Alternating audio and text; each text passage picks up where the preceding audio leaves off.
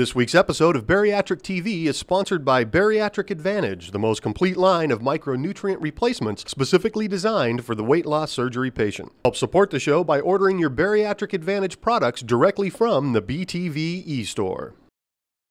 This week's show is sponsored by Celebrate Vitamins, providing the optimum level of vitamin and mineral supplementation that's tasty and affordable. Get all of your favorite Celebrate products at celebratevitamins.com. T2 Nashville, I want you to take notice how bright and cheery Toni's set is today. It's bright. Hey there, I'm Linda. Hi there, I'm Tony. What's going on in the world of BTV this week? Well, for starters, we have a drop zone freak that's gone to the dogs. It's the holiday, and you know what that means? Booze, of course. Did you know that there are 13 things you didn't know about weight? And a new blog that's all about accountability. And we're off.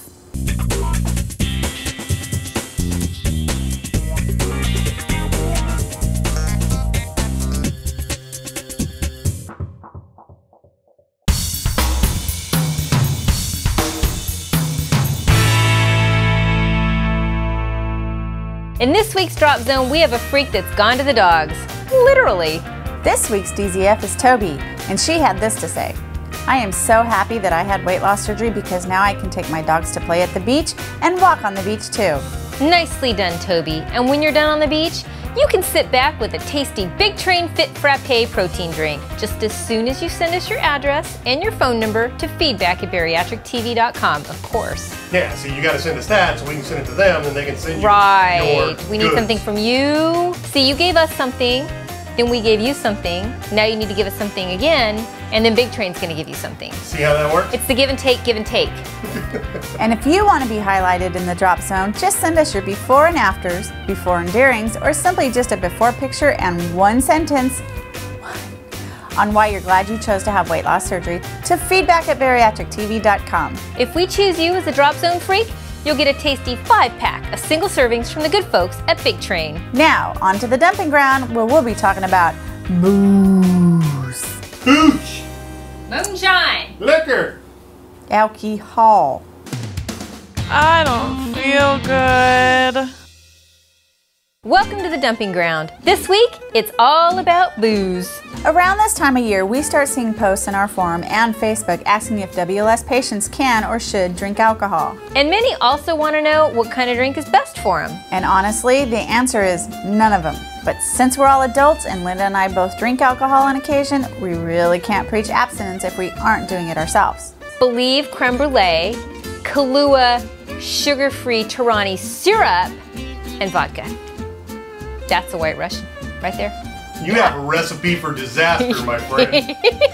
So, first of all, if you're post op and struggling with addictions or cross addictions, please seek help now. The holidays are not the time of year to try to test your willpower, especially if you know you're struggling.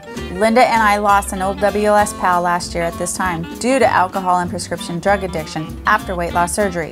And this year we lost another gal from the old days due to the same thing. Both of these gals were loved by many, but they just couldn't seem to overcome the addictions that eventually overcame them. So, as far as drinks for the holidays go, if you feel that you need a drink, get help, please.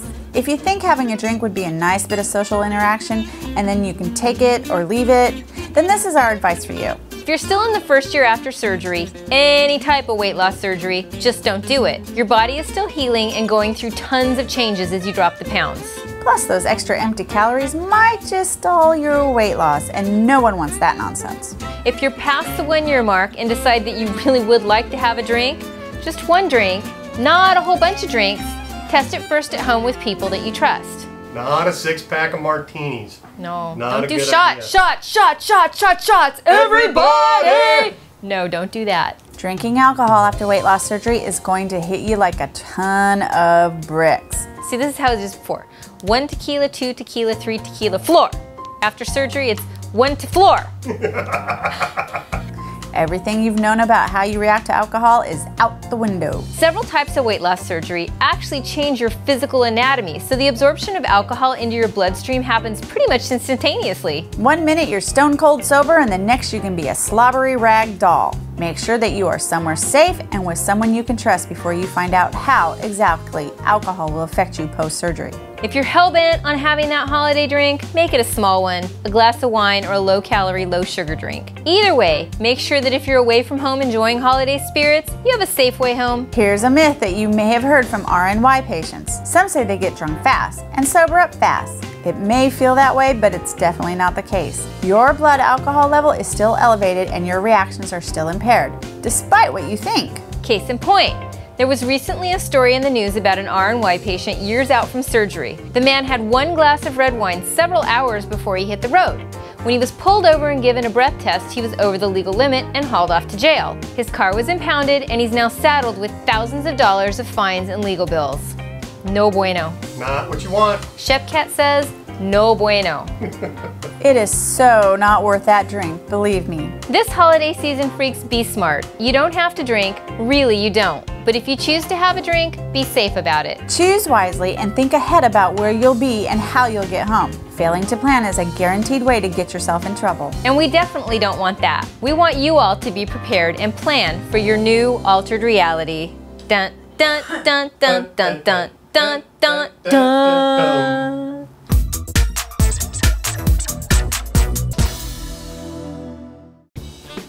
Welcome to Altered Reality.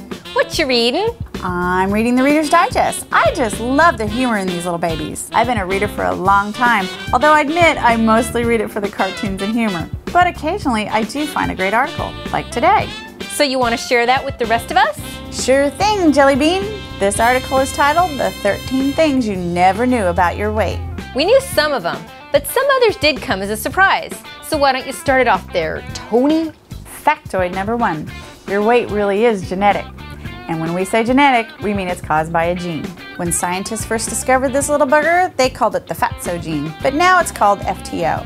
People with two copies of FTO were 40% more likely to have diabetes and 60% more likely to be obese. And those with just a single copy of this gene, way more as well. Scientists also believe there may be over 100 of these fat genes. I got a pair of fat jeans.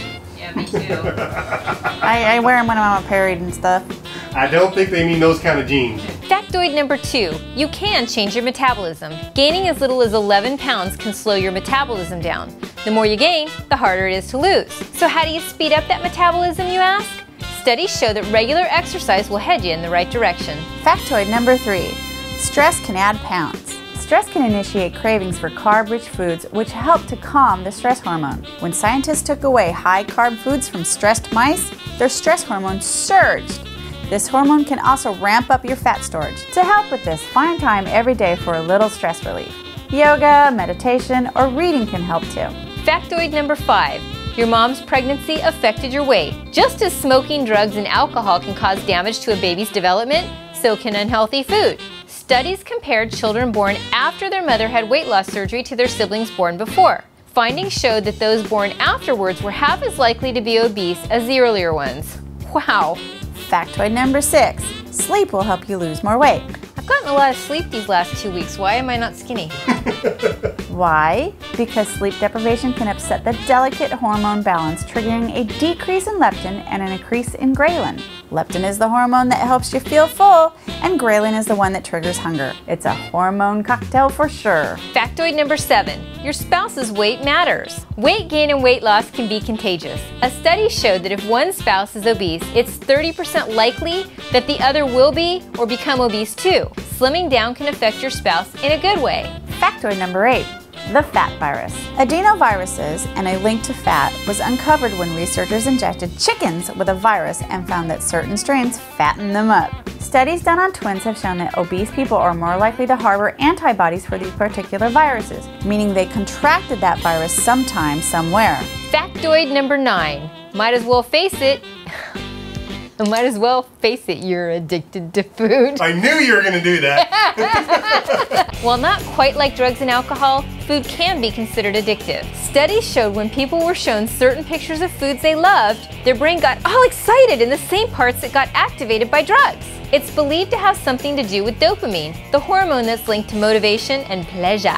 Factoid number 10 the ears have it. Researchers wondered why people who tasted food less intensely than others seem more likely to be obese. And since ear infections can damage the nerve that runs through your middle ear, researchers discovered that those who suffered a lot of ear infections had their chances of being obese almost double. Why? Because of nerve damage from the ear infections, these folks are more likely to love sweet and fatty foods. This is spurred on from a higher threshold for sensing sweetness and fattiness. Factoid number 11 antioxidants are also anti fats. Free radicals are now blamed for making us obese. Of course. The radicals can damage the cells that tell us when we're full. The best way to avoid the damage? Load up on antioxidant rich fruits and veggies. Factoid number 12 Information is power. Most all diets are converging on the same belief that boils down to the same thing deprivation doesn't work, moderation does. Four key facts diets are zeroing in on consume carbs in the form of whole grains and fibers, avoid trans fats and saturated fats, eat lean protein, and fill up on fruits and veggies. And the last factoid, number 13. You can be fat and fit. Studies are starting to reveal that size sometimes doesn't matter.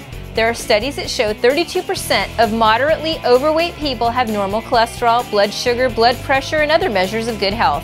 What is a fact is you need at least 30 minutes of moderate exercise a day. Just 30 minutes a day. Five days a week can be just the difference between fat and unfit or fat and fit. Well, there you have it. Bet you already knew some of these, but bet you didn't know all of them. Now let's go freak on.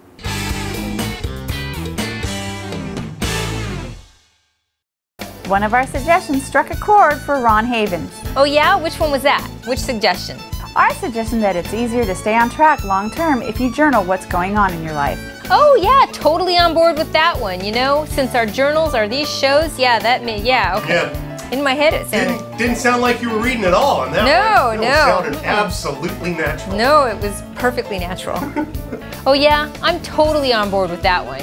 You know, since our journals are basically these shows we do every week, I'm all for letting it hang out. Well, so to speak. And so is Ron.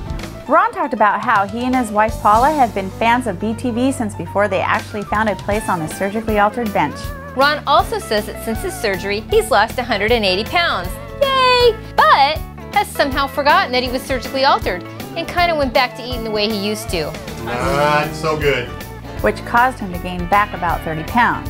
30 pounds he's not happy about. Anyway, I guess that our episode on journaling was just in time to help out Ron. And to keep Ron honest, we're putting his blog out there for everyone to keep a watch on. That way, Ron knows that when he's writing about his journey, we are all there with him. We're watching you, Ron. Watching. You can find Ron's blog at gettingtomygoal.blogspot.com. Give it a read, and if you see Ron starting to creep back into those old bad habits, you have our permission to smack him around a little. Virtually, of course, and only because we love him and all of our freaks and want you all to be successful. Bam! We're done. Again. How does that keep happening so fast? Remember, if you have ideas for the new format of the show, comment on this post. It could get you a gift certificate to the BTV store. And remember, you can still visit thebtvstore.com to stock up on all your bariatric needs. And keep those Drop Zone and Docs Who Rock submissions coming to feedback at bariatrictv.com.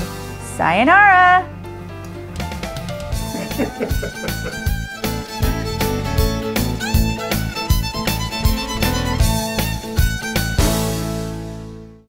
Welcome to Altered Reality. I should be hoping Uh, it should probably be open if you're reading it. Close up something, we're done.